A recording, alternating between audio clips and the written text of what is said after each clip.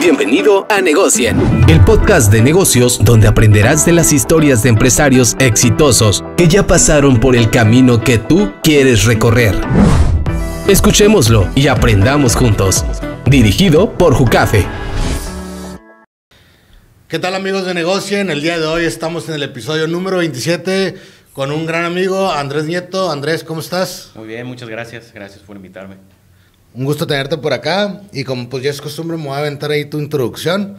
Y bueno, Andrés Nieto es licenciado en negocios internacionales, egresado de la poderosísima UABC y el San Diego State University. Ha emprendido en diferentes ámbitos. Tuviste por ahí un modelorama. Has estado también como distribuidor nacional de la marca Lenny and Larry's de snacks saludables en una empresa importadora de mercancías en general. Y actualmente pues trabajas en la industria de las resinas termoplásticas como encargado regional.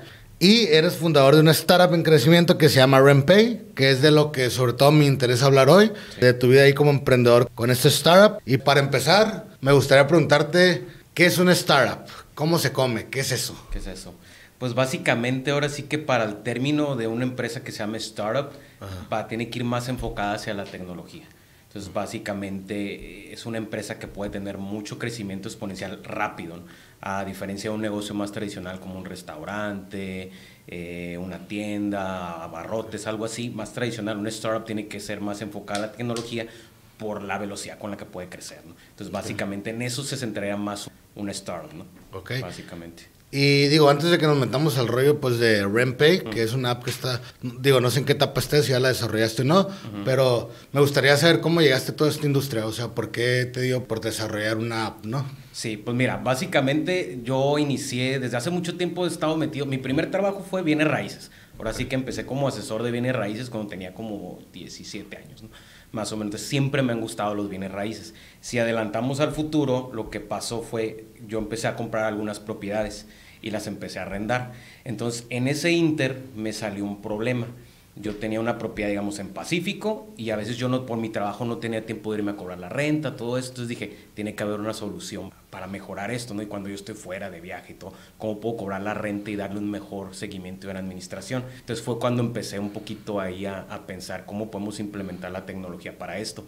Me acerqué a una empresa administradora local también que pues, te cobra las rentas y todo y me dijeron, ¿sabes qué? Nosotros nomás cubrimos la zona de Hipódromo esa zona pues no vamos.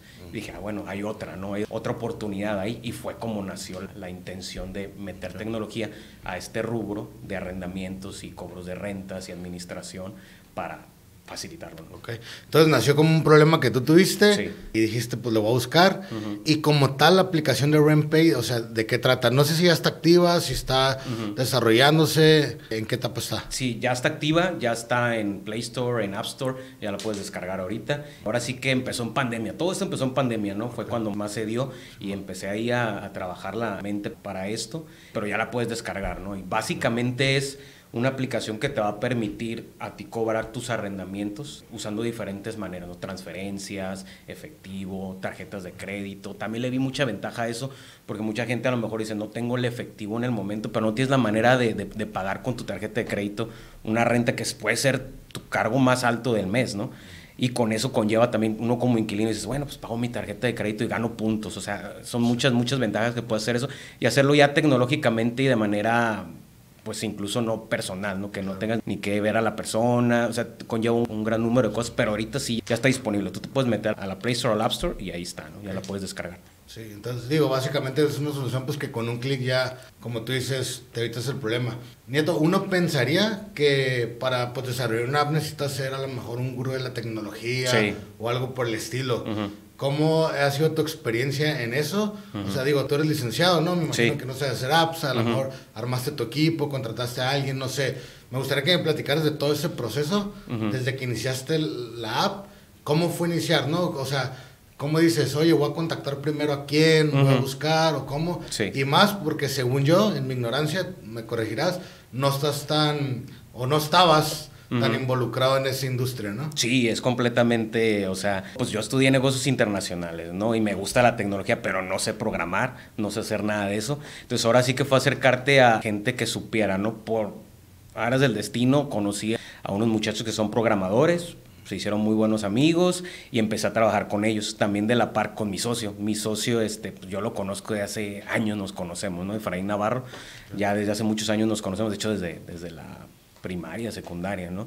Y él sí trae un background un poquito más tecnológico, que también no sabe el programar como tal, pero sabe muchísimo en como programación no code, ese tipo de cosas. él es mi brazo derecho en cuestión tecnológica, ¿no? Con él me apoyo mucho y de ahí con el equipo de programadores. ¿no? Ahorita ya digamos que somos programadores, son como unos 3, 4 más o menos los que trabajan con nosotros y también tenemos un equipo de SEO también, ¿no? por ejemplo, para la parte de promociones. Fue haciendo un equipo poco a poco que lo hemos ido creciendo, que sí nos, en sí no son parte todavía, digamos, de la empresa como externos, pero son parte ya del equipo. ¿no? Y con ellos fue con los que fui aprendiendo todo de, oye, ¿cómo le hacemos acá? ¿Qué sistema de programación se utiliza? Y es como fui conociendo poco a poco, pero pues, ahora sí que de la mano de los que saben, es apegarme con ellos.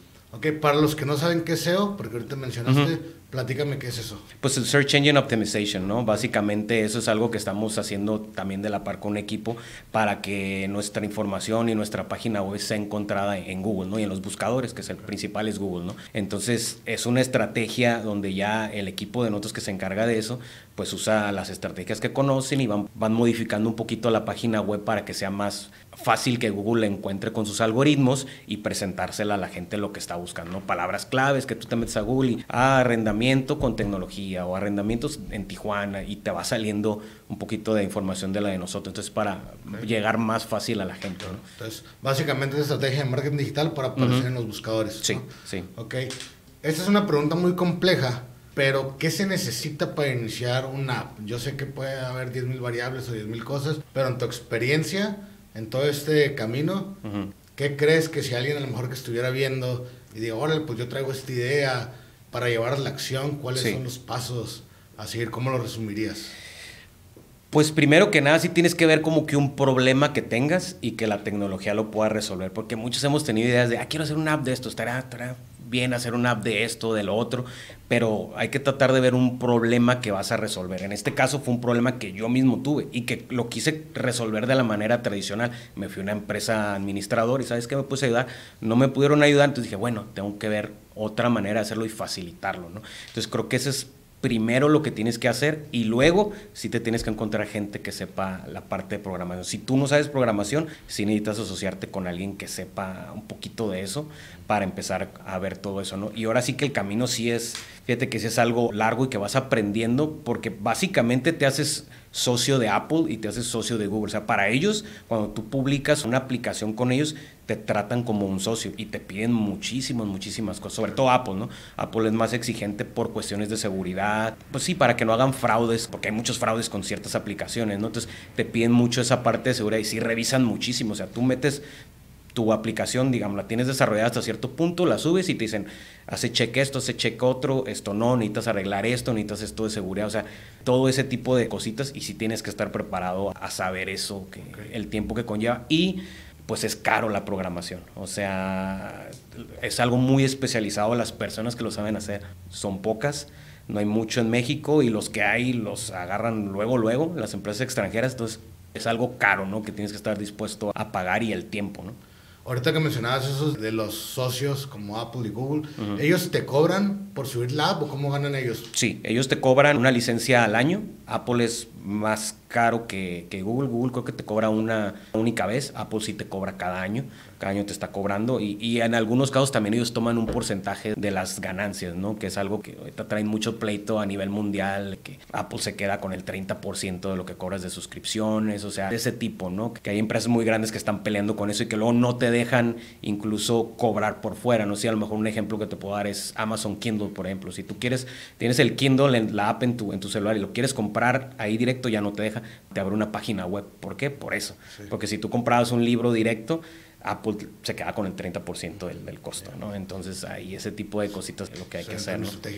¿Un aproximado cuánto cuesta tener una app? No es caro, o sea, digamos que para pagar la licencia con Apple estás hablando de como 150 dólares por ah, año. O, sea, es accesible. Sí, es accesible, pero pues estamos hablando de millones y miles de millones de apps que meten ahí al año, ¿no? Entonces... Y hace rato me platicabas también de que lo más pesado eran los desarrolladores.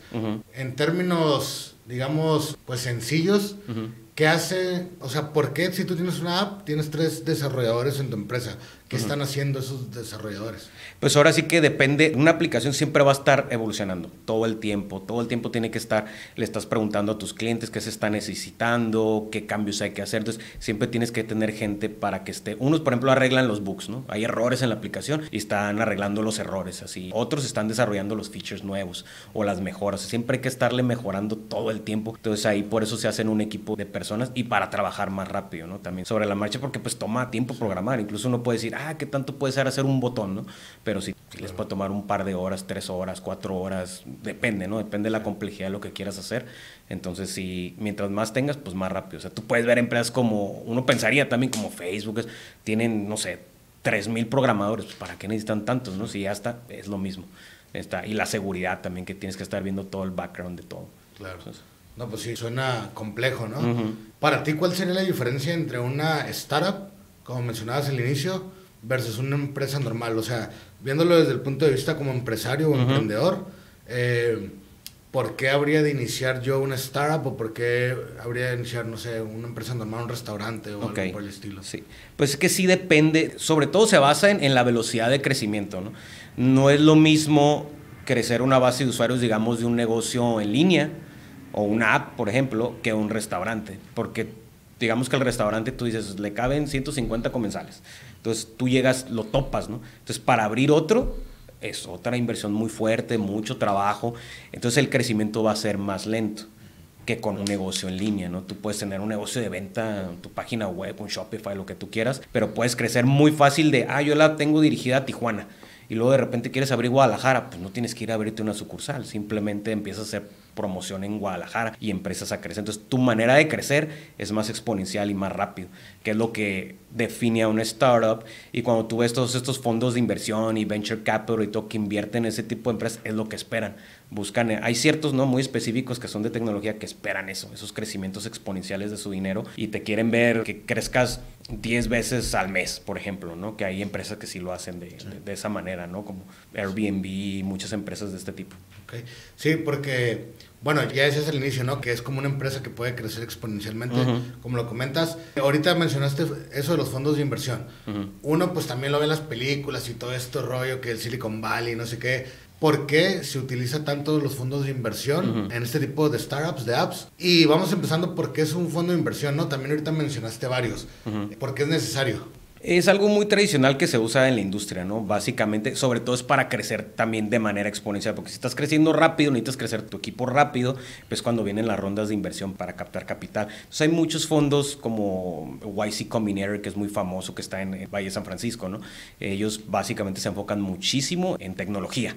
Entonces ellos tienen una regla, ellos por ejemplo te dan medio millón de dólares por el 7% de tu empresa, pero tiene que ser una empresa que ellos vean en un sector importante, que está creciendo y que pues, puede crecer rápidamente. Ejemplos que te puedo dar que ellos hayan fondeado está Airbnb, está Stripe, eh, en México tienen dos, que es una que se llama Vic, que es Pamela Valdés, se llama la fundadora. Está, de hecho, yo soy usuario de la aplicación, está muy interesante. ¿De qué es esa app? Ajá, es una app de audiolibros, ah. básicamente, ¿no? Entonces ellos la fondearon a ella, fondearon a Nowports, que es también de logística, él es de Monterrey, está muy famosito ahorita, también se está viendo muy, muy mencionada. Ellos son los dos, ahora sí que son los dos egresados de YC, ¿no? Mexicanos. Rappi también salió de esa empresa. Entonces lo que ellos te ayudan, no solo es el dinero que te dan, sino son las conexiones que tienen y ellos ya saben cómo funciona todo rollo. Entonces vas mucho por la conexión y por el equipo y lo que te pueden decir. Entonces puede llegar un punto donde tú estás creciendo, pero te estancas.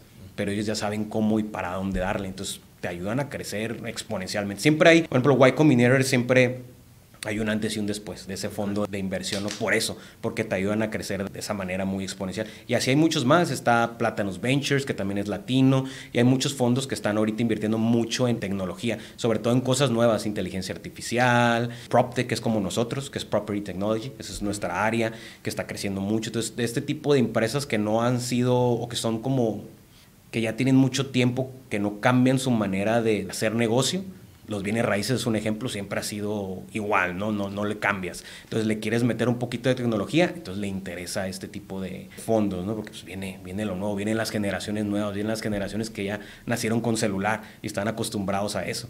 Entonces por ahí es donde viene un poquito la idea.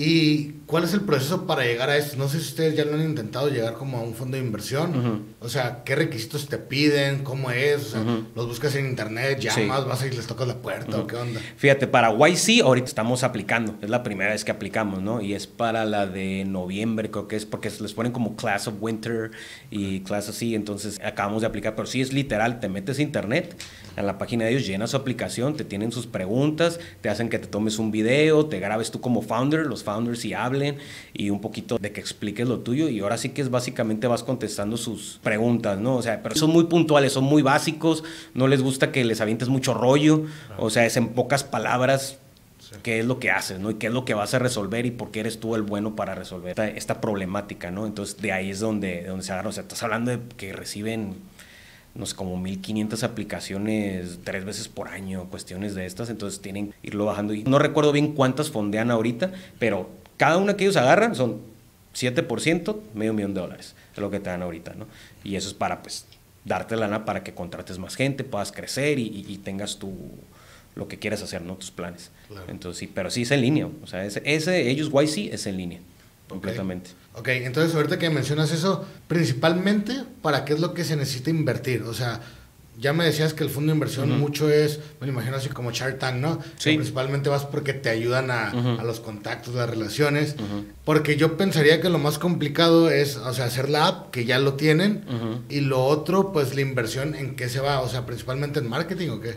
Gran parte, gran parte en marketing, gran parte en seguir desarrollando la aplicación, porque ahora sí que cuando haces una, lo ideal es lanzarlo más rápido que puedas, ¿no? Lanzarla de que la tienes así, digo, ese es un error también que nosotros tuvimos, somos muy, mi socio y yo, de que no nos gusta esto, no nos gusta acá, entonces le estás moviendo, pero si daría un consejo a los que quieran hacer eso es, no esperes a que esté bonita, que esté funcional, empieza a lanzar al mercado y de ahí te vas agarrando, ¿no? De ahí que la gente te vaya diciendo sí, no, y luego la vas puliendo, no esperarte tanto. Entonces, es, pero ese dinero es precisamente para pulirla y para crecer. Porque igual, si por ejemplo tú tienes, que te usan 100 usuarios, no es lo mismo que tener un millón de usuarios en cuanto a la carga de tu servidor.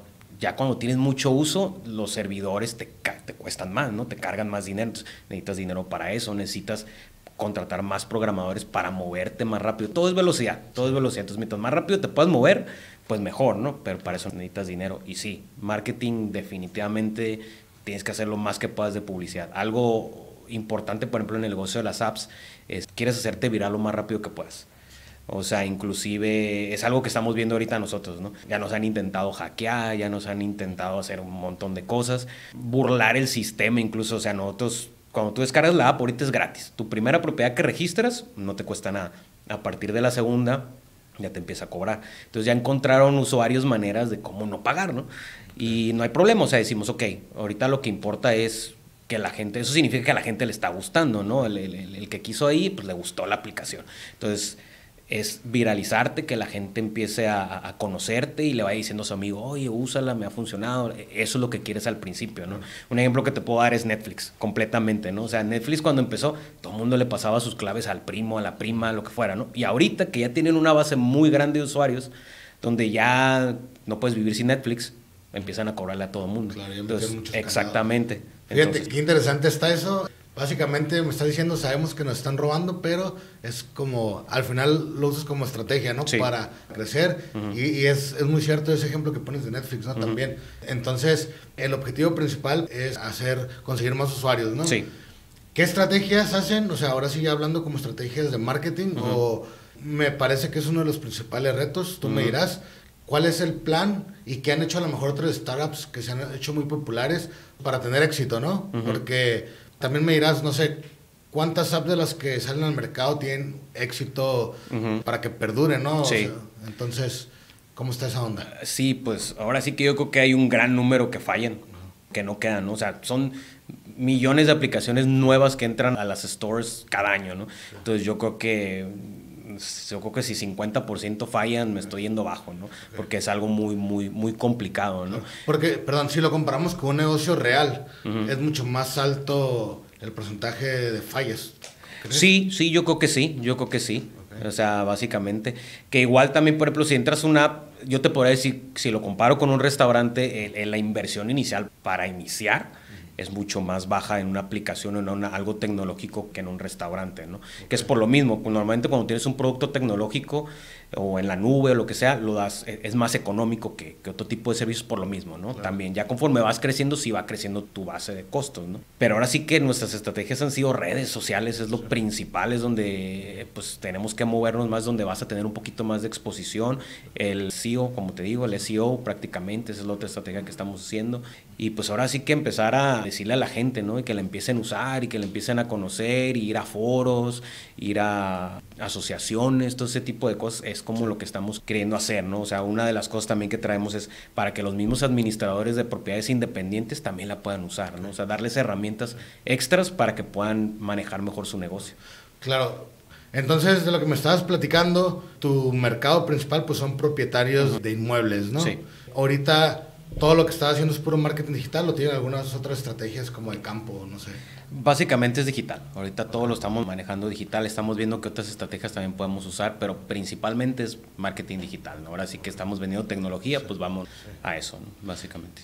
¿Y cuál crees que sea el secreto para triunfar en esa industria? Y te preguntaba también ese rato, ¿cómo le han hecho todas las marcas grandes, ¿no? Para llegar hasta eso, porque como tú dices, es exponencial, ¿no? O sea, no sé en qué momento las personas o nosotros ya tenemos el momento donde descargamos la app, nos la recomiendan o, o, realmente buscamos en Google a una que haga eso. ¿O cuál crees tú que sea como que ese paso? Es que creo que tiene que ser que sí tienes que resolver un problema real que está viendo, ¿no? O a lo mejor no resolver un problema, en algunos casos también hacer algo más, algo que ya está, pero más cómodo, ¿no? En nuestro caso esa es la, la misión que queremos, ¿no? O sea, al final nuestra intención es que en México todo mundo pueda rentar su casa desde su celular, ¿no? O sea, ahorita estamos atacando la parte financiera como del pago de arrendamiento, pero brindar más herramientas, o sea, pensamos en un futuro que tú puedas sacar tu celular y, digamos, eres inquilino y tienes la aplicación, traes una bronca del gas o lo que tú quieras, necesitas reparar algo que desde la misma aplicación puedas solicitar ese servicio a los propietarios de las casas en arrendamiento y todo esto, o sea, brindarles otro tipo de beneficios facturación automática, que puedan desde ahí todo automatizado, que ahorita es lo que se hace, ¿no? Ahorita solito te hace el recibo, le manda el recibo a tu inquilino, solito cobra, solito le manda recordatorios, no tienes que andarle diciendo, oye, este, no me has pagado, o poner las moras, si no pagan a tiempo automático el sistema te lo pone. Entonces hacerlo todo, al final estás facilitando eso, ¿no? Te digo, es lo mismo por un problema que a mí se me dio, o sea, igual yo estaba viajando, no, no tenía mi libretita para hacer mis recibos a mano y a tomarle una foto y mandársela a mi, a mi inquilino entonces, hasta que regrese, ¿no? Entonces, ese tipo de cositas. Pero sí, tienes que resolver un problema o facilitarle la vida a alguien en algo, ¿no? Creo que eso es lo que tienes que hacer para lograr que una aplicación funcione. Uno pensaría que ya están ocupadas todas las soluciones, ¿no? Del mercado. O sea, si tú me dices, oye, tengo este problema, ¿cómo lo solucionamos con una yo pensaría que a lo mejor a alguien ya se le ocurrió, ¿no? Sí. O sea, en el caso de esa app, ¿No hay competencia o, es nuevo? Sí hay competencia, sí tenemos. Lo bueno es que en México no hay tantas, pero te vas a Estados Unidos es común. O sea, todo el mundo va y renta y en una aplicación te dan de alta y ahí haces todo, ahí pagas todo. En México no es tan común. Sí hay, pero la mayoría de los que hay se enfocan en condominios, como en el mantenimiento. Eso tú eres un administrador de una torre de, condominios. Entonces tú tienes tu aplicación donde ahí te van a pagar tu mantenimiento. Entonces ese es un tipo de servicio. Nosotros nos fuimos más enfocado a la persona que tiene una propiedad o dos y la renta, ¿no? Independiente. O aquí en la frontera también se da mucho el administrador independiente que tienes, ah, mi tía le renta las casas a tres personas y ella va y cobra la renta y les cobra el 10% y les da su lana a cada quien. Ese es el otro mercado que, al que estamos atacando, ¿no? Porque está desatendido. Entonces, eso es con lo que lo hacemos con solución. Una solución que te puedo dar de ejemplo para esos administradores, ellos, digamos, tú cobras la renta de 10 propiedades, de 10 mil pesos, ¿no? Te transfieren los 100 mil pesos a tu cuenta bancaria y luego de ahí ya le vas pagando a cada propietario. Pero corres el riesgo de que el SAT se o sea, te están cayendo 100 mil pesos, son tus ingresos. Entonces, ¿cómo solucionamos nosotros con tecnología? Es, se hace la distribución del dinero, ¿no? Básicamente, o sea, tú cobras, si yo administrador cobro el 10%, entra el dinero, el 10% va para mí, automáticamente el resto va para el dueño. Yo ni toco el dinero, o sea, el sistema lo hace solito y ya no te fiscalizan de esa manera. O sea, equivocadamente, porque tú no estás ganando 100 mil pesos. Entonces, eso es lo que se puede resolver con tecnología. Claro. O sea, se va el dinero donde pertenece al final del día. Sí, sí, claro. ¿Cómo dividirías las etapas, o sea, en, en la evolución de una startup? No sé en qué etapa estás tú, tú me dirás, pero como si tuvieras que definir todo el camino, ¿en cuántas etapas lo dividirías y cuáles serían? Uy, pues primero la idea o resolver el problema, ¿no? Primero ahí es lo que vas a encontrar. Luego ya viene el desarrollo, ahora sí, del cómo vas a hacer, cuál va a ser la solución. ¿Cuánto tiempo te toma el desarrollo aproximadamente? Depende, ahora sí que depende.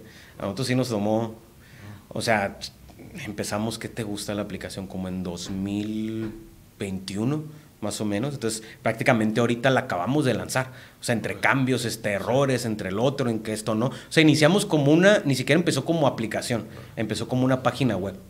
Así empezamos con el desarrollo. Ya cuando me siento con los programadores y me dicen, pues te la podemos hacer aplicación. Yo en mi mente era, sale carísimo hacer una aplicación. Me dicen, lo mismo, son horas de programación. Sabemos programar, son horas de programación. Ah, pues dale. Y cambió todo, ¿no? Dejamos, o sea, ya teníamos avanzado más o menos la idea en la web y cambió aplicación. Pues, está mejor, ¿no? Entonces, en promedio dos años, digo, yo entiendo que puede haber 10.000 variables de también la cantidad de dinero, ¿no? Si tienes 100 programadores trabajando en ella. Sí, claro. ¿no? Pero estamos viéndolo desde un punto de vista, pues... Alguien normal, como sí, bajado a la tierra, ¿no? alguien como nosotros, o sea, no un millonario, no una persona que se dedica a eso, sino un emprendedor que trae ideas y las quiere desarrollar, ¿no? ¿Dos años? Sí, un año, dos años, yo creo, más o menos, para implementarlo, ¿no? Para empezar a lanzarlo y luego ver cómo el mercado ya te empieza a, responder. Y, antes de pasarme a la siguiente etapa también, que yo sé que también hay muchas variables, pero un aproximado, ¿cuánto puede costar desarrollar una, no sé, mil pesos, un millón de pesos, quinientos mil? Depende de la complejidad porque normalmente te van a cobrar con, por hora, ¿no? Entonces te puede salir de 20 dólares la hora a 80 dólares la hora, depende de la complejidad. Entonces, te digo, tú o sea, y eso por dos años, sí, dura dos años. Sí, o sea, lo que te tome, ¿no? Entonces tú dices, ¿sabes qué? Hacer un botón de esto que quieres poner, ah, nomás ponle este botoncito. Ah, para uno puede parecer sencillo, ¿no? De que nomás se ponle éxito, algo así. Te va a decir, bueno, me va a tomar ocho horas de trabajo. Entonces ahí le va sumando, le va sumando. Y, en una promedio, por decirlo de alguna manera, o sea, si pudiéramos dar un rango, no sé, alrededor de los 100 mil pesos, 200 mil. Más o menos, como entre 200 mil pesos, te puede costar hasta un millón de pesos, también depende. Si me voy a datos así como estadísticos de promedio que, que, he analizado y todo, sí te cuesta de pérdida. La más sencilla de lo más sencillo te va a costar ponle medio millón de pesos, más o menos, por ahí, por ahí andas, ¿no? Hasta si ya le metes algo financiero y encriptación y ya más complejo, se te puede ir muy, muy arriba. obviamente estamos hablando de medio millón de pesos en un proceso pues de un tiempo de un año, dos años. Sí, más o menos. Ok, interesante. Bueno, entonces me estás platicando la etapa 1, la etapa 2. ¿Cuál sería la 3? Pues ya lanzarte al mercado y ahora sí que ver, ahí es donde vas a ver si va a tronar, si va a funcionar, si todo lo que le invertiste funciona o le paras, ¿no? Porque igual hay que saber cuando algo no funciona, ¿no? Pero pues hay que casarte con tu proyecto, o sea, si tú crees que va a funcionar y que en realidad estás resolviendo algo y vas a ayudar a la gente, vale, vale la pena, ¿no? Que es lo que queremos nosotros. O sea, tiene beneficios para el dueño de la propiedad como para el inquilino. O sea, el inquilino tiene mucha ventaja, te digo. O sea, ese es otro problema que tengo y porque tanto yo le rento a alguien como yo también rento mi casa, fue lo mismo. O sea, cuando yo le pago la renta a la persona que me cobra la renta, pues tengo que estar en la casa porque va y lo quiere en efectivo, ¿no? Entonces, ese tipo de cosas también y hay veces que pues yo no estoy. Entonces esa es otra, si le resuelves algo a la gente, creo que vale la pena. De las etapas que me platicaste, ¿cuál crees que es la más complicada? Pues el desarrollo. Ahora sí que el desarrollo, porque ahí es donde vas aprendiendo. Sobre todo si no sabes, como nosotros, que fue algo nuevo completamente. Yo siempre había estado en otros giros, no en desarrollo de aplicación. Te vas dando cuenta ahí de los errores. Y piensas cuando ya tienes esto, y, ah, te sale lo otro, ¿no? Y que esto no era y que te lo bota Apple. O sea, un ejemplo que te puedo dar es, vamos a, ¿sabes qué? Vamos a ponerle que puedas entrar a la aplicación facilito con Google, que nomás es que tiene un botón y le picas y ya tienes tu Gmail, te hace tu usuario automáticamente, ¿no? Ah, va, lo hacemos, pum y luego la subimos a Apple y Apple nos dice, ah, no, pero si tienes la entrada automática con Google, también tienes que meter el de Apple, Apple ID, si no, no te la publico. Y ahí oh, le metes más programación que no esperábamos y es más dinero. Eh. Entonces, todo ese tipo de cositas, o sea, son, al final son dos tiendas a las que la estás metiendo y tienes que adecuarte a lo que te están pidiendo. Entonces son ese tipo de cositas que tienes que tener ahí en contexto y saber. Y, de, y, de, esos van saliendo todo. Van saliendo muchas, de que términos y condiciones, ¿dónde tienes tus términos y condiciones? Necesitas una página web donde la, la, gente se pueda meter y lo pueda ver. Esa fue otra que tuvimos, ¿no? Y luego necesitas tener un botón donde puedas borrar tu aplicación, o sea, la, el usuario por completo. No nomás que te salga así, sino que puedas eliminar tu cuenta, ¿no? Entonces no lo teníamos, teníamos, te puede salir y ya, tienes que tenerlo, entonces le tienes que meter. Entonces vas aprendiendo los mínimos que te piden que tiene que tener tu aplicación para que funcione, y te digo, son lineamientos. Sí. Sí, que al final, pues ellos están protegiendo al usuario. ¿no? Claro. También. Uh -huh. Sí. Okay. sí, son cosas que se necesitan, pero de momento no las pensamos. O sea, claro. como vas sacando ideas y tú dices, quiero que haga esto, sí. quiero que haga esto. Entonces, no te enfocas tanto en esas cositas claro. tan, tan. Para uno, dice, pues, no pasa nada, ¿no? Pero sí se necesitan. Todos los detalles, ¿no? Sí. ¿Y cuál crees que ha sido el desafío más grande? O sea, ¿qué dices, Uta, esto sí me quebró la cabeza y pues fue bien complicado, ¿no? Que a lo mejor ya si lo estuvieras haciendo de nuevo, uh -huh. pues ya sabrías cómo evitarlo. Pues sobre todo eso, eso de, la, de cómo trabajar con Apple, que era algo que no sabíamos para nada. Eh, lo que te digo de aventarte como lo que le llaman el MVP, que es el Most Viable Product, okay. que es lo que haga lo básico ¿no? que necesitas y no aventarte tanto en diseño para salir más rápido al mercado. Creo que eso también sería algo que debería hacer. Que lo escuches en todos los podcasts, entrevistas y todo de gente que se dedica a eso, pero ya hasta que estás ahí como que te emocionas y se te va la onda de, sí, tengo que hacer. Ok, a ver, eso. explícame más el MVP. O sea, ¿es nada más un término o qué es eso? Sí, en tecnología que es el eh, Most Viable Product, que es básicamente lo base, ¿no? Si por ejemplo yo quiero hacer un producto fintech que cobras, ¿no? Nada más X cosa una tienda, no te enfoques mucho en que se vea bonita, en que le metas eso, sino que haga eso. Entonces, lo me incluso no necesita ni ser app, lo puedes hacer como una página web, lo metes, que la gente responda a ver cómo funciona y luego ya le metes desarrollo. Un ejemplo es Airbnb. Airbnb empezó como una página web y simplemente era muy básico, ¿no? Entonces, vieron que hubo tracción, vieron que funcionó, entonces ya le empiezan a desarrollar un poquito más. Entonces es lo básico, ¿no? Sí. Prácticamente. Y creo que eso puede aplicar para cualquier tipo de negocio también, ¿no? De que claro. haces un, no sé, un restaurante igual, te haces un platillo, lo voy a hacer básico, no te lo voy a arreglar bonito, a ver cómo te gusta, sabe rico, pides opiniones, sí. Ahora sí ya le metes las lechuguitas y todo lo vas haciendo más bonito, algo así más sí. o menos. Y dentro ya de tus planes con la app, Ahorita pues es dejarle caer toda la carne en la asadora a uh -huh. conseguir usuarios, ¿no? A marketing y tal, por lo que me decías. Uh -huh. Ya se acabó la etapa del desarrollo. Ahorita ustedes están pues consiguiendo la inversión. Si uh -huh. no se consigue esa inversión, ¿qué pasa? Ah, pues fíjate que no me enfoco, o sea, queremos conseguir inversión, pero no me enfoco mucho en eso. Creo que también hay, hay ciertas empresas que a veces hacen ese error en tecnología, se enfocan mucho en bajar fondo y con eso sobreviven. O sea, tú tienes tu base, tu nómina. Entonces, tú al inicio no tienes ingresos, o sea, estás creciendo, estás creciendo, estás creciendo. Entonces, con los fondos de inversión, con eso se mantienen. Entonces, muchas veces hacen ese error de quemar el dinero, pues el burn rate que le llaman. Yo tengo un burn rate de 10 mil dólares al mes, por ejemplo. Entonces, tú vas con un fondo de inversión, este es mi burn rate, necesito tanto para sobrevivir un año más, para estar desarrollando y hasta tal punto va a ser nuestro punto de equilibrio donde vamos a empezar a ganar dinero. Entonces yo no me estoy enfocando tanto en eso, en fondo me estoy enfocando más en si generar ingreso en la aplicación, o sea, crecer obviamente los usuarios, pero también tratar de enfocarnos mucho en, en, en, conseguir ingresos. O sea, estamos agarrando estrategias de, pues le metes un poquito más de features, features cobradas por aparte, le metes un poco de publicidad a lo mejor a la aplicación, pero tratar de ver que no sea invasiva, por ejemplo, todo ese tipo de cosas, ver cómo podemos agarrar un poquito más de ingreso y ahora sí que llevándola así, pues poco a poco, ¿no? Viendo, antes de aventarnos a ir por más inversión, ¿no? Sí. Con más inversionistas. A ver, eso, ¿cómo se pronuncia el burn rate? ¿o cómo? Burn rate, ajá. Es como quema de dinero, ¿no? Es el burn de, de quema ah, okay. y el rate, burn rate. Y es una especie como el punto de equilibrio, no me quedó como tan claro. Burn rate es, tú por ejemplo dices, mi negocio necesita para la nómina, para luz, para todo este rollo, 10 mil dólares al mes. ¿no? Son mis costos Ah, fijos. ah, Entonces, tu burn rate es, es de 10 mil dólares mensuales. Entonces, tú vas con un fondo y el fondo te va a preguntar, ¿cuál es tu burn rate? ¿no? Oh. Ah, pues es tanto. Entonces, con esto es con lo que yo sobrevivo. Con esto no me muero. Entonces, necesito mínimo esto Para- para seguir chambeando, para seguir trabajando y seguir implementando y, y creciendo. Entonces, es un dato que les interesa mucho a los... Yo ya te dando un salario, no sé, tu burn rate por cuatro años. Ajá, o- exactamente, por el tiempo. O sea, se usan muchos esos términos en la industria de tecnología y como viene mucho de Silicon Valley y todo esto, usan mucho ese tipo de, de términos. Entonces tienes que conocerlos un poquito para saber, ¿no? Ahí más o menos. ¿Por qué Silicon Valley es la meca de eso? Eh?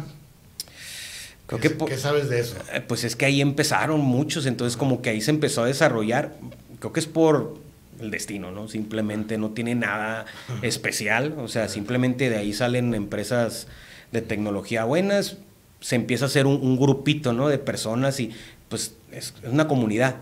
Y llegan más y se quieren acercar a ese tipo de personas. Y llegan más, y llegan, entonces te vas haciendo en tu círculo. Y pues obviamente a uno le empieza a ir muy bien, empiezan a tener dinero y quieren invertir en otro tipo de empresas. Entonces se acerca la gente a conocimiento y a dinero, ¿no? Básicamente es lo que... Y se dio, se dio en Silicon Valley.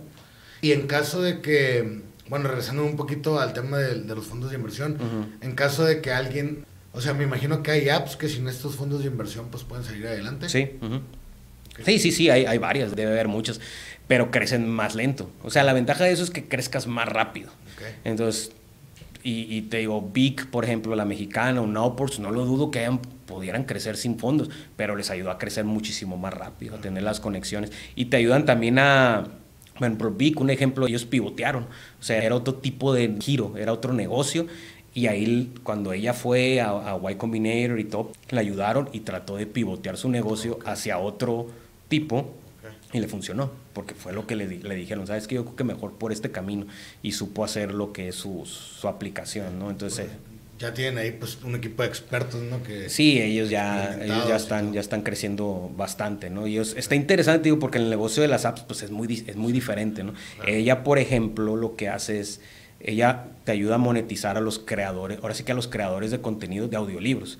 O sea, es lo que ella también vio, es no nomás puedes tú descargar audiolibros, irlos escuchando en tu carro y paga las licencias de los libros para que los escuches, sino que invita a alguien más, a mexicano normal que escribió su libro, algún influencer o algún empresario, lo que sea que haya escrito un libro, vente, lo grabamos en mi estudio, hacemos el audiolibro, lo subimos y lo monetiza, o sea, también le, le, pagan. Entonces ya creó otro, como otra economía, que es lo mismo que hace Uber, que es lo mismo que hizo Airbnb. O sea, antes de Uber y antes de Airbnb, pues no había quien, o sea, Uber, los que rentan los carros y tienen un ingreso extra que antes no tenían. Airbnb, rentas tu casa que antes no tenías, acá igual. Entonces creas otro tipo de economía y ese es como que son redes, ¿no? De redes que esos crecen muy rápido porque pues, a todo el mundo quiere otro fondo de ingreso, ¿no? Otra manera de tener ingreso. Está Claro. interesante. No, súper bien. Oye, y regresando a tu app, Rempay, ahí necesitan descargarlo tanto el propietario como el usuario Sí. para hacerlo. Igual, platícanos un poquito de estas funciones. Igual, velo como un anuncio, ¿no? Para alguien que lo está viendo, pues que es una app mexicana, tijuanense, Sí. y pues realmente que te da una buena solución, ¿no? ¿Cómo se usa? ¿Es complicada? ¿Es fácil? Es muy fácil de usar, o sea, básicamente el que la descarga es el dueño, es el propietario o el administrador, ¿no? Entonces tú la bajas, haces tu usuario y todo y metes los datos de tu propiedad, muy básico, pones, ah, mi casa está en la colonia tal, pones los datos generales, el precio de la renta y listo. Ya cuando tienes tu inquilino, lo das de alta, igual le pones el correo de tu inquilino, la persona, lo que hace es que le llega un link a su correo del inquilino para que la descargue.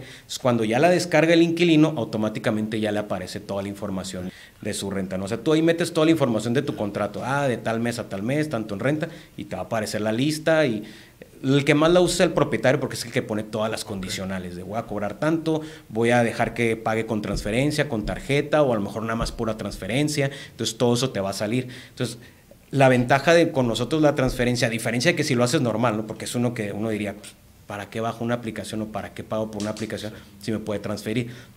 Muchas veces cuando te transfieren el dinero así, no te avisa tu banca en línea, ¿no? Un ejemplo, aquí rastrea todo completamente. Entonces, en cuanto lo hace, les da una cuenta clave específica a ese inquilino. Entonces, cuando ellos pagan esa cuenta, te cae a tu cuenta bancaria como dueño, pero automáticamente en la lista se muestra como pagado para los dos. Entonces, hay una conciliación para que los dos estén de acuerdo en, en todo eso, ¿no?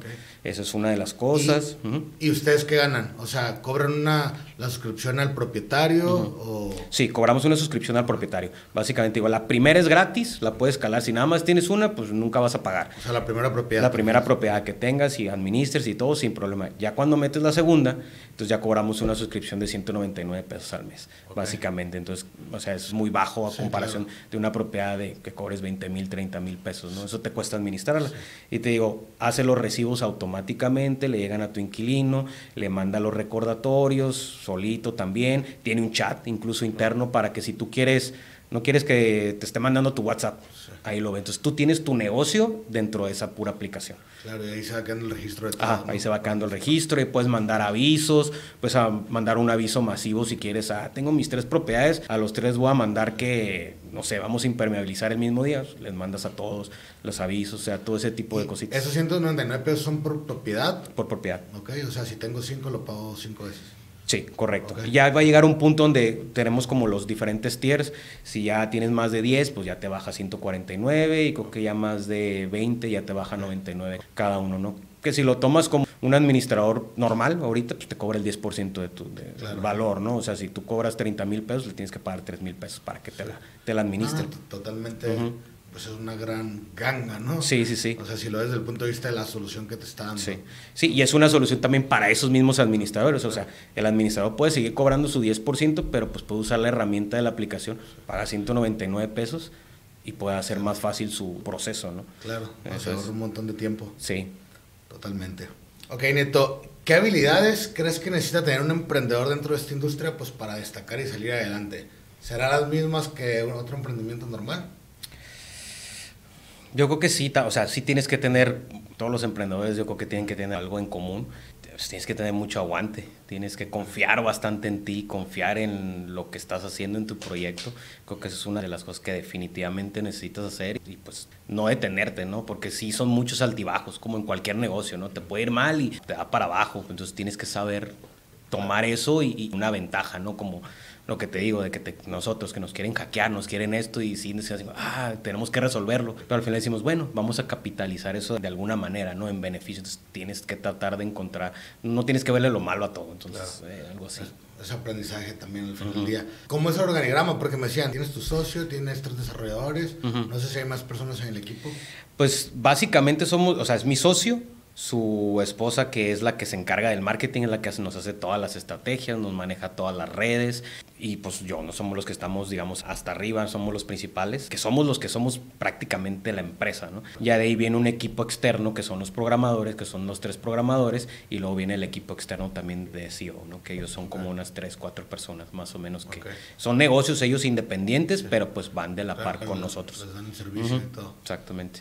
Y es básicamente ahorita como estamos conformados, digo, y un contador y todo lo básico, ¿no? De un, de un negocio así también establecido. Ok, porque ¿cómo le hacen también? Bueno, ¿cómo le haces tú, no? Porque pues sigues trabajando en una empresa, ¿no? Con los tiempos y todo, ¿cómo ha sido esta evolución? Eh, sí se me complica, o sea, si es de que le tengo que meter pues en las tardes, en los fines de semana. Ahora sí que mi socio es el que me ayuda un montón y todo lo hacemos remoto la mayoría de las cosas, ¿no? Una conferencia y pues remoto y vamos a hablar y lo vemos y con mensajes y es como estamos ahí casi casi trabajando, ¿no? No somos el, día a día, nos vamos a una oficina y nos juntamos porque no, casi nunca estoy en la ciudad, ¿no? Me toca salir mucho y tengo muchas responsabilidades en mi trabajo también, entonces es como que es parte también de lo que creo que ha alargado un poquito más el tiempo, si estuviera así como que 100% tal vez yo hubiera avanzado un poquito más, pero pues hay que trabajar con lo que se puede, ¿no? Entonces...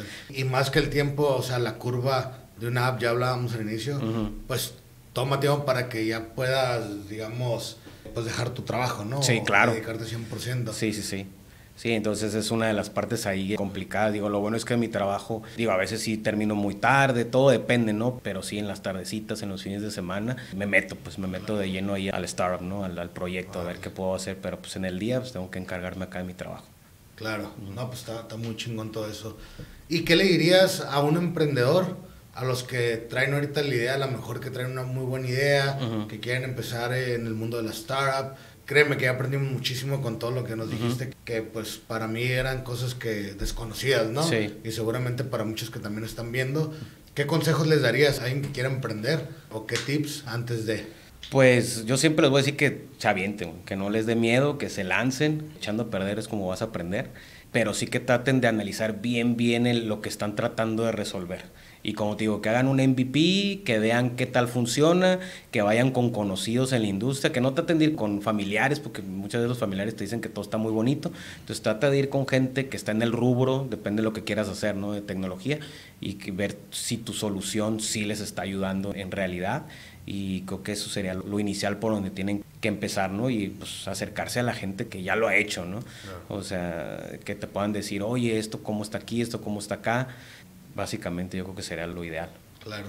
¿Y tú personalmente como emprendedor tienes alguna filosofía que crees que te haya hecho pues llegar hasta donde estás ahora? Porque digo, no ha sido nada fácil, me imagino. Y pues todavía lo que falta recorrer, ¿no?